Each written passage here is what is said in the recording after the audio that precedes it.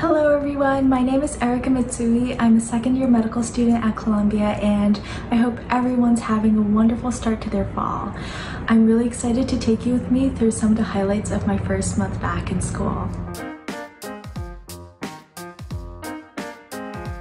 I am about to go to the hospital for the first time since um, March um, for my bedside session where I'll have a chance to talk to a patient, so I'm really excited.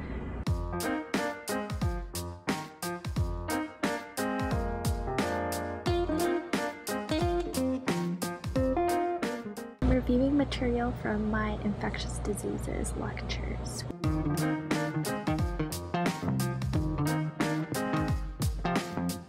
Time to take the test. Wish me good luck.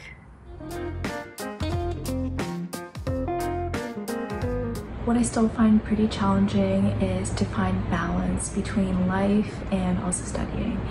And especially now with social distancing, it's really easy to get isolated. To decompress, I started meditating, I run a lot, and I also enjoy playing music. I'm a violinist, and I'm working on some pieces that I'd really love to play for patients again.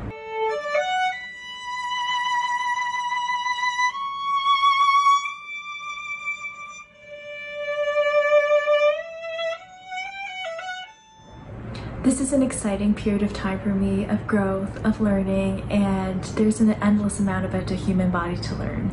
I'm looking forward to being able to apply what I learned right now to my clinical rotations in January. Thanks for watching.